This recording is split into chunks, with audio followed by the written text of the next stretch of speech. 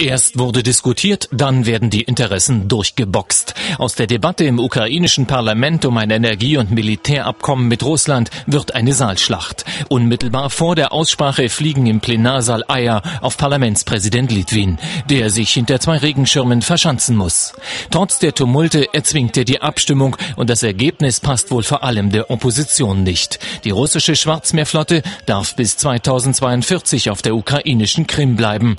Die Ukraine erhält im Gegenzug einen Rabatt von umgerechnet 30 Milliarden Euro auf Energielieferungen. Aber da spielen einige Volksvertreter nicht mit. Plötzlich fliegt eine Rauchbombe durch das Hohe Haus in Kiew. Kurze Zeit später wird eine zweite gezündet. Die Rauchmelder lösen Feueralarm aus. Die Abgeordneten aber sind unbeirrt. In dem Chaos setzen sie ihre hitzige Debatte einfach fort.